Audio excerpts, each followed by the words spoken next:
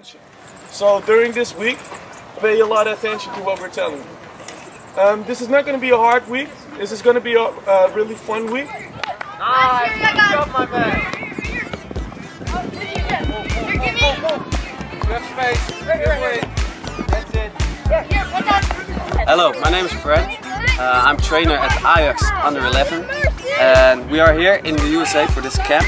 Uh, as you can see there are a lot of players and a lot of talented players but all the players, all different kind of ages you can improve. And this camp is focused on the details to improve them just in one week. And of course you can stay for two weeks, you can stay for three weeks, but in one week we want we have on Monday and Friday and the goal is to improve them. And that's that's important about this camp. So if you want to join us next year, just join us. I like what I'm doing here at the camp.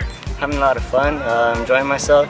Coach is teaching me new things. Uh, I can apply this stuff to my future games, and uh, it's really helping me out uh, fitnessly, technically. So I have the ball here, I pass. And when I do this, what will he do? Now you stay. Follow you. He will follow me. Where can you go? And where the ball can go right, right now? Yeah, defender is standing in front of him. He is sitting low. So when you do this kind of move, sit low to the ground, then step to a side. This is to a side with your whole body. And then take it with your left. It's important. Because I'm going to use you as a defender right now. Okay? So the first jump is like, that's where I go. Now the second step over is here. So I'm doing that. First move is I'm going here. Second move is I'm going here. Hi, I'm Yannick. I am a 26 year old and I'm a Dutch coach. Um, so what is this camp about? This camp is about playing to win and knowing how to win. Um, if I talk about players that know how to win, uh, one thing that stands out to me is that they are all very smart. And to me, that's the only thing that is unbeatable during this camp.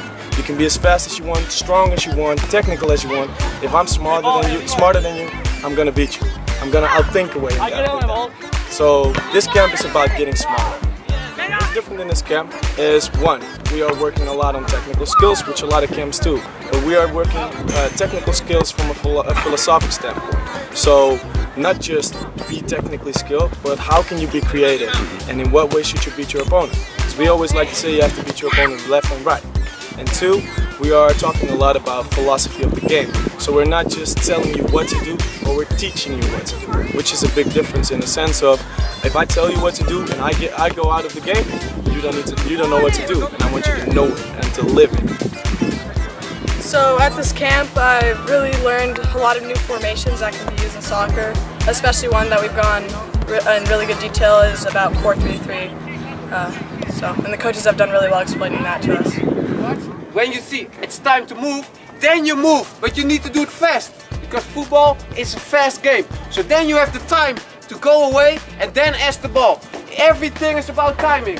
When you have the space but you don't have the ball, wait when the player is ready to pass the ball. If you if he is, isn't ready for passing the ball, I don't gonna ask it. Now we have eye contact, yes, now I ask it. Everything is about timing.